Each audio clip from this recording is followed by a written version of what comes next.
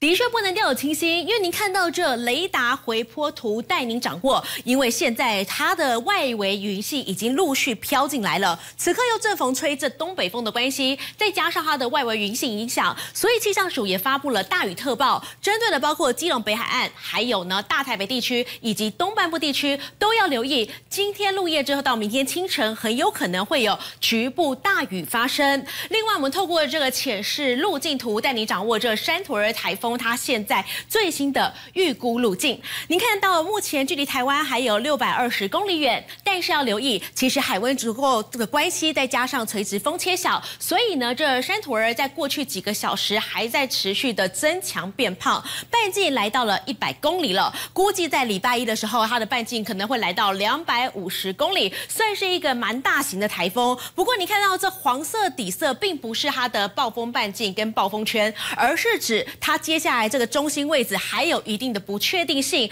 会在这黄色的区域范围当中来做移动。所以说呢，明天睡觉起来，也许路径还会再做修正。但是如果这条路径不变的话，预估是在礼拜二、礼拜三这两天的时间点会最靠近台湾。提醒观众朋友，今天已经是礼拜六了，那么呢，周日的时候预计清晨就有机会发布海上台风警报，那么呢，也可能会发布陆上台风警报。那么要留意接下来它可能带来的影响了。刚刚提到这海上台风警报，是因为主要是它的暴风圈只要碰触到我们台景线前二十四个小时，也就是礼拜日的时候，就可能会发布海上台风警报。因为它的路径在过去已经又往西边修了一点点，所以发路警的时间可能也会提早到礼拜日的下午就有机会发布这陆上台风警报。而预估在礼拜一的时候，它的暴风圈路径不变的话，就有可能触路。而且您看到礼拜三凌晨四点的时候，因为它的暴风半径真的非常广，几乎整个台湾全部都被罩在它的暴风圈当中。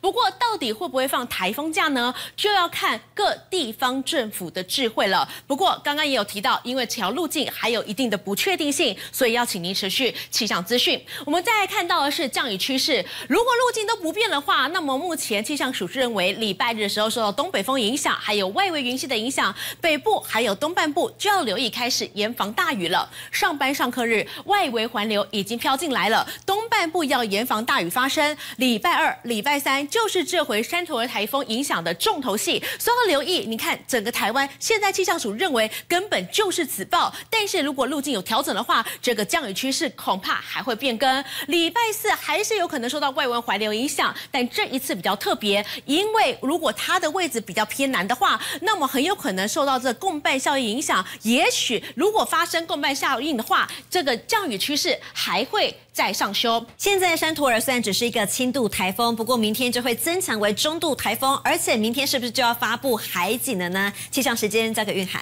好，话先没有错。此刻这山图尔台风它的外围云系其实已经让花东的观众朋友恐怕已经感受到这么一点点风雨了。因为气象署刚刚发布的就是大雷雨及时讯息，针对的范围就是花莲、台东。提醒观众朋友，这山图尔台风尽管看起来离我们还有一段距离，但是。实际上，它的外围云系已经开始飘进台湾了。另外，你看到它的近中心最大风速是每秒二十公尺。此刻因为海温条件是足够的，所以它接下来还会持续的增强变胖。所以这个山图尔台风，我们持续警戒，就是真的。不能小看它，而且预估啊，在明天清晨就有机会发布海上台风警报。如果这条路径不变的话，那么最接近台湾的时间点会落在礼拜二、礼拜三这两天。提醒观众朋友，到时候要严防各地的豪大雨之外呢，也要留意接下来这山陀和台风逐渐靠近的过程，会不会刚好礼拜三这东北季风又下来，导致的共伴效应带来持续性的降雨。好，现在山陀和台风所待的位置，海温条件真的是。非常充足。我们透过这一张，很明显看看到，红色的范围是三十度，橘色的范围是二十九度。也就是说，它行经的这条路径如果都不变的话，那么看起来海温条件是足够的。再加上风切又小，那么是有利于它增强变胖的。气象署是预估，未来它逐渐靠近台湾的过程当中，很有可能它的暴风半径会增强为两百五十公里，那么就有机会是整个笼罩在台湾的上空，带来致灾性的豪雨。所。以提醒观众朋友，真的不能掉以轻心。好，刚刚来看到这个是降雨趋势，则是告诉您，明天礼拜日的时候呢，同样要留意东北风，还有北北部跟宜兰地区可能会有大雨出现。而且刚刚也提到了，此刻这外围云系已经开始影响了。还有礼拜一上班日的时候，你看到东半部地区红彤彤，主要是外围环流也已经开始带来这迎风面的降雨了。另外，礼拜二、礼拜三的时候，受到这台风的影响，您看到目前气象署认为哦，对于台湾恐怕是带来相当可观的降雨，因为中南部台东雨势恐怕呢还要视它的路径会不会有所调整来做进行这个降雨的预估调整。但是目前看起来，如果路径不变的话，这个降雨恐怕是真的非常可观了。提醒观众朋友，明后两天还有一点时间的话，赶快做好防灾工作。另外，礼拜四的话，这外围环流持续影响，但是刚刚玉涵也有提到了，如果接下来呢少携带的这共伴效应的话，恐怕这样的降雨趋势还会再上修。最后做一个总结，在这个向日葵卫星，则是可以看到，今天可以看到是山图儿，它现在海温条件足够的关系，所以持续增强，明天就有可能变成中台。那么其实以下午两点最新一报来看的话，它的路径已经往西修了，所以造成这海警跟陆警的时间点可能也会往前提前。那么呢，朝着台湾逐渐逼近的过程当中，还是要提醒观众朋友，就算不登陆，还是有可能会带来相当可观的降雨，就看这条路径，也就是稍早看到的那条路径，到底会不会有所调整。如果呢稍微往西再修一点的话，降雨恐怕更可观；但如果稍微再往东修一点点的话，也要留意它整个暴风圈在接下来礼拜二、礼拜三会对台湾造成影响。以上呢是这节气象最新，再把时间还给华仙。在我们鹅銮鼻东南方六百二十公里的地方生成了，而过去六个小时到了今天下午两点的时候，基本上它的移动速度非常缓慢，还是在我们东南方六百二十公里的海面。那未来今天到明天这段期间，它会移动速度是比较缓慢的，但是会持续的增强发展，有可能会增强到中度台风。那明天之后啊，尤其到礼拜一，会逐渐的向我们的台湾近海移动。哦，到时候我们的东半部地区，包括大台北的东侧或者是恒春半岛，开始风雨就会逐渐的增强。而这个台风影响我们最明显的时间会是在周二、周三。不过这边的路径还有点不太确定。如果它的路径在靠台湾啊近一点的话，整体的雨势会再更为大一些。那首先我们先从现在的卫星图先来看一下目前的天气形态。好，可以看到呃所这个第十八号台风山托尔它的位置大概这样在啊我们恒春。呃，鹅銮鼻东南方大概六百二十公里海面上。那至于我们台湾这附近的风场，大致上今天就有是一个偏东北风的环境。因此，在昨天到今天都有一阵一阵的东北风带来一些水汽，所以在迎风面，桃园以北或是宜兰，甚至花莲、台东都有一些呃下雨的情况。啊，目前我们还是有持续对大海北地区发布大雨特报。那我们从呃雷达回波可以看到，就是今天目前到下午的情形，就是整体。呃，我们东边海面上都有一些水汽，洋面慢慢呃在这边发展，还有部分的水汽是移进来的情形。好，所以今天到明天，我们都还是要留意呃台湾以北东半部的一些呃局部的降雨。而至于在中午过后，其实有部分的南部山区或是中部的山区，也是有局部的午后雷阵雨的情形。好，那接下来我们先从这个台风的最新的预报图来看一下这个未来台风的走势哦。好，山陀儿台风。呃，大致上在今天到明天，呃，今天是二十八号十四时，到明天的二十九号十四时，过接下来的二十四小时，移动的速度是比较慢的，但是它会逐渐的增强为中度台风，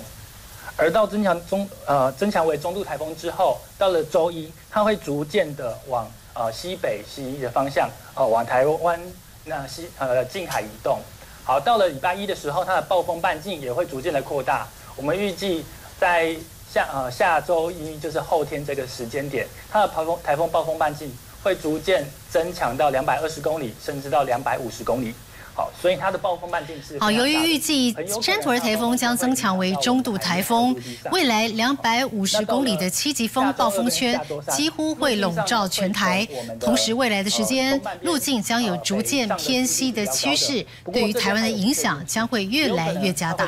过去这几个小时，山图尔台风的路径再往西修，这也代表着带来的风雨势必更加严峻。接下来的气象时间以及台风解析交给云涵。好，这样带你掌握这一节推播重点，要告诉观众朋友，就是趁周末这两天，好好的做好防台工作。毕竟这多一份准备，就多一份安全。您看到这三土儿台风已经渐渐在逼近台湾了，而且从这最新的向日葵的卫星云图，你可以明显看到这一报最新的重点就是它在海面上海温条件足够，垂直风切又小，持续增强，最快明天就会变成中台。再来，因为它的路径在西修了，那代表可能对。台湾的影响又会加剧，但是随着它逐渐朝西北转，渐渐逼近台湾这段路当中还有一定的不确定性，而它北转的角度势必对台湾的影响就有落差。但是无论如何，朝西北逼近台湾的这个过程，还是要趁周末做好相关的防台工作。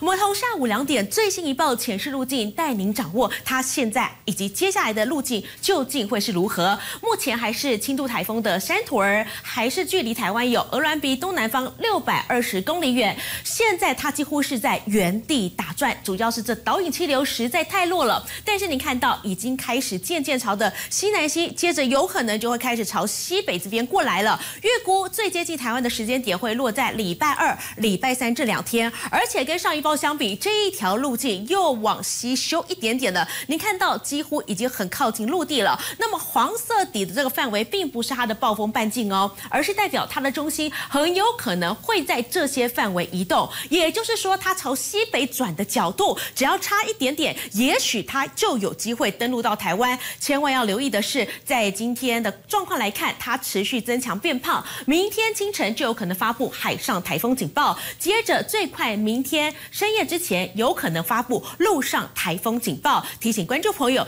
真的要留意，尤其它接下来假设真的登陆的话，那么对台湾的影响势必非同小。可，因为此刻半径已经来到八十公里，那么呢，气象组还预估它接下来几天之后，也许它的半径会来到两百五十公里，那么就代表对台湾的影响势必更加明显猛烈了。我们看到下一段图表资料来告诉您，您看到三土儿台风现在路径西收之后呢，逐渐靠近台湾，而且还要留意的是什么？留意的是这一条路径很明显就类似一个秋台路径，要留意接下来，因为还有这个东北风即将下来了。那么礼拜三、礼拜四东北风万一增强的话，另外一个危机还在后头。礼拜三、礼拜四这两天，万一它朝着这个路径走，又带下来东北风，那么就会害怕引发所谓的共伴效应。但是还要视它这个路径是否有跟上方的这东北风一起，导致可能会带来可能相当猛烈的雨势。那么无论如何，还是要留意哦。接下来一连几天，包括礼拜二、礼拜三到礼拜四之前，都不能掉以轻心。你看到这一回。在礼拜一的时候，上班日外围环流已经开始影响到整个东半部，尤其包括宜花。东等等地方大雨在礼拜一就会开始出现了，它为外围环流影响，势必开始影响到台湾。万一真的登陆的话，您看到其实这样的一个雨势等于说是紫爆了。气象组认为，万一它非常贴近台湾走，或是登陆的话，那么都有可能会为台湾几乎超过三分之二台湾都笼罩在非常明显的降雨当中。所以提醒观众朋友，今明两天还有一些空档时间的话，真的要做好相关的防台工作了。到礼拜四的时候，还是持续受到它的。外围环流影响，所以说接下来你看到一连几天山土儿台风带来的狂风暴雨，恐怕不能小觑，一定要趁这两天做好相关的防台工作。以上是这节气象，再把时间还给嘉文。